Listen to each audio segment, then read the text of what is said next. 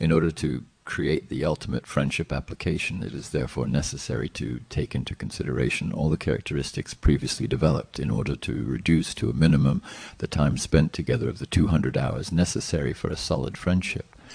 Here's how to design a new generation social group thanks to data and algorithm based on four principles common experiences, similar lived experiences, knowledge IQ measurement, complementary immune defenses, hobbies, common interests. This is schematically the machine, the equation that must be implemented to find friends. The equation that must be implemented to find friends. We have relied on chance to do this. We can now use data and algorithms to provide us with the most efficient circle for personal fulfillment.